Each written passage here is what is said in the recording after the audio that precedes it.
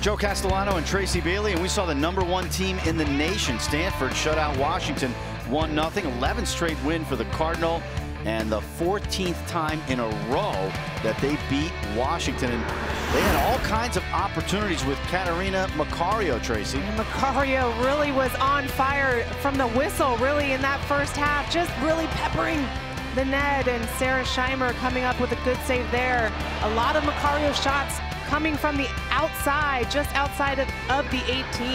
She had 12 shots, and uh, boy, Scheimer was saving everything. She had a career high nine saves, frustrating the Cardinal really throughout this match. She was. She was coming up huge for the Washington Huskies, just really denying every chance and opportunity that Stanford got.